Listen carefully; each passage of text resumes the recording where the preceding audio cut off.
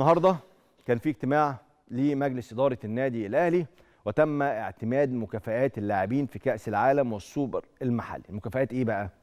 مكافآت هتوصل لنص مليون جنيه لكل لاعب. يعني أقصى لاعب هياخد مكافأة هياخد نص مليون جنيه.